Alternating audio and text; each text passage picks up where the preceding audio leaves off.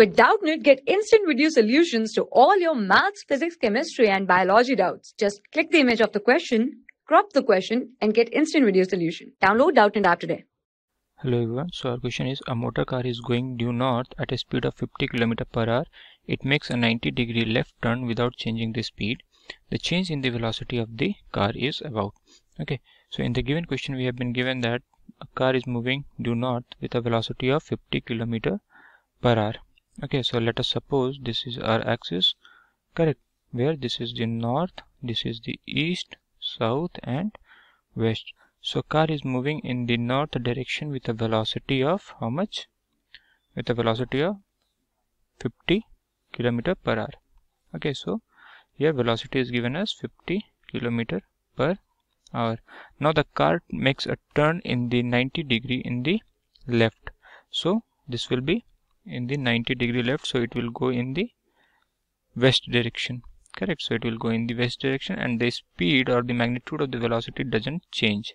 Correct? So it will also be velocity final. Let us say this is the initial. So it will be 50 kilometer per hour.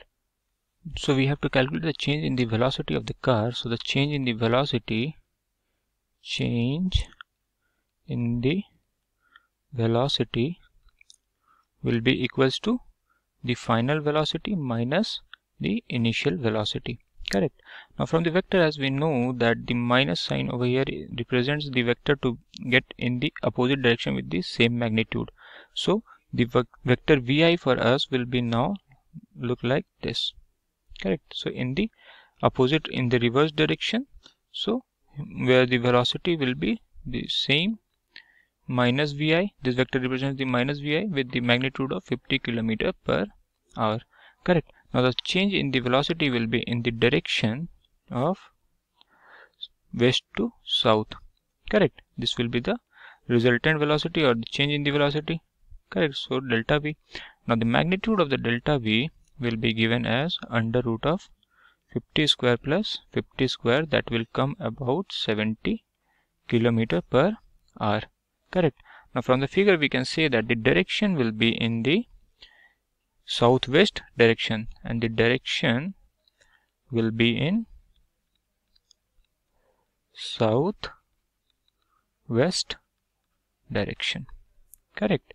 So from the given options we can say that the option number 2 that is 70 km per hour towards southwest is the correct option. Okay. Thank you.